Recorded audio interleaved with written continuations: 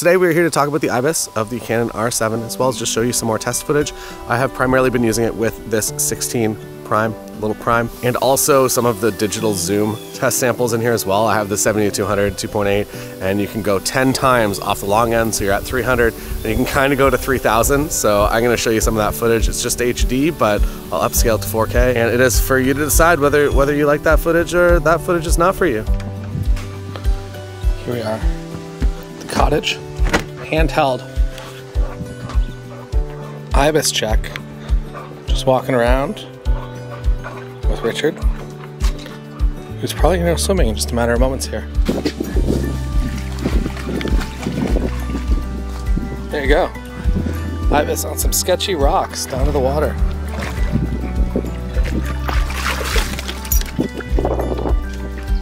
I'm mostly curious about the edges in this. Also, I'm using the onboard mic. Curious how good it is.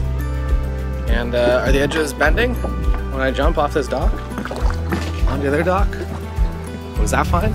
Also, all the footage you're going to be seeing, test footage 4K, 29, well, 30p, I guess, 29.97 uh, frames per second, and uh, that's it. Everything, I have not touched anything. I haven't had warp stabilization anything.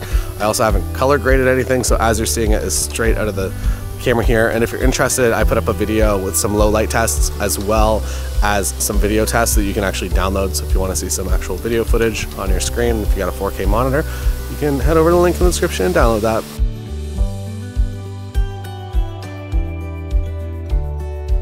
Here comes Peter McKinnon. So one of my main concerns with the Canon R6, which we use all of the time for pretty much everything, this is the, the Sony ZV-E10 with the multi-shoe mic, the new one, and uh, the 11 as well. But usually for video on the channel, you will be seeing the Canon R6, and typically we would shoot everything with a 35 prime because if you shot with the 16, you would get this terrible edge warble.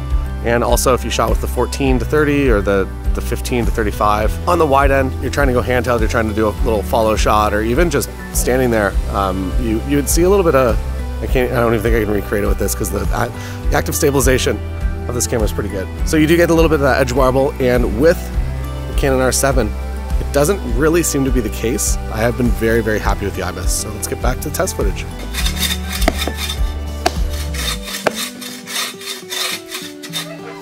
As a reminder, July 14th is in fact my birthday. Before July 14th, you can get into the members website for the, the cheapest it's been in years. The members website has been the place that so many people that commented on the video a couple of days ago that the content in there really took them from a part-time photographer to a full-time photographer. So if it is your goal to be a full-time wedding photographer, which is maybe why you're on this channel, or maybe you're just here for the camera, uh, head on over there and get in before my birthday, July 14th. And there's a link down below that you can use and get in there. Back to the video. Canada Day celebrations here. Now I'm narrating very close to the microphone. So my theory with the IBIS warble disappearing is the fact that it's now just a crop sensor. So at 16, Canon R6, this is going to be warbly on the edges, but when you punch in, and now this is kind of a 24, all of a sudden it gets rid of the edges, which is kind of the parts of the edge that would warble. So maybe that's the reason. I don't know.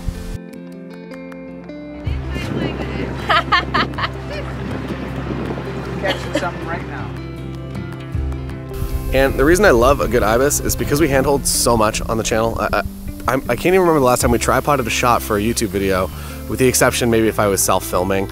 Uh, even wedding films were always handheld, so good IBIS is very, very important to us, and it is absolutely one of the tools that helps me do my job a heck of a lot better, so it is important for me.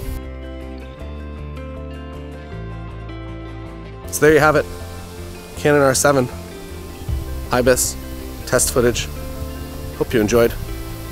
I'm gonna stop here because it's not sunny. Don't forget, members website if you want to get in before my birthday, July 14th. It is $30 rather than $40 and you can get in right now.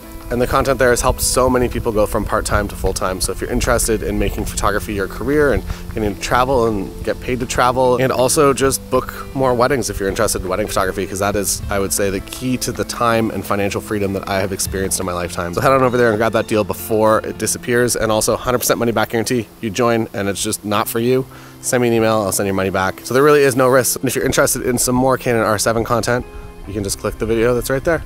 You can go watch it. See you again next time, tomorrow, 9 a.m. Eastern, every day. every day forever. Not not forever, but at least for I got videos for the next 15 days. So see you every day until then.